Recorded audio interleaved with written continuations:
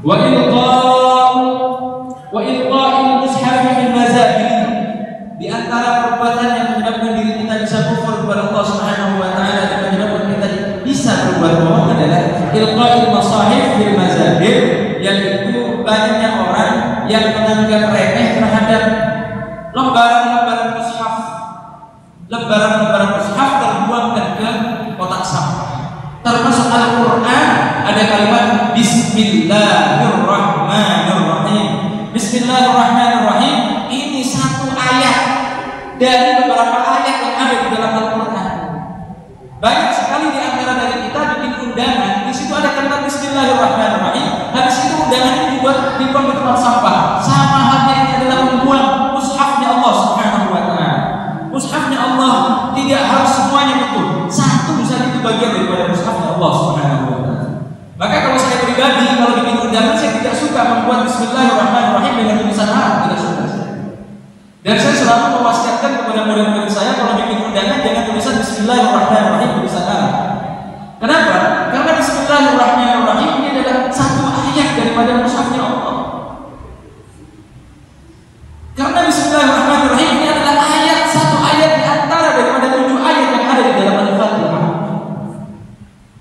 Banyak sekali di antara dari kita yang membuat undangan itu tulisan Bismillahirrahmanirrahim habis itu dibuang di tempat sampah atau ada di mana-mana. Dan ingat, kalau sampai mengentengkan perbuatan yang semacam ini, dikhawatirkan kita nanti malah justru mudah berbuat dosa sehingga kita kufur kepada Allah Subhanahu wa taala. Saya selalu berwasiat kepada murid-murid saya kepada semua yang yang kenal dengan saya kalau bikin undangan jangan ditulis Bismillahirrahmanirrahim tulisan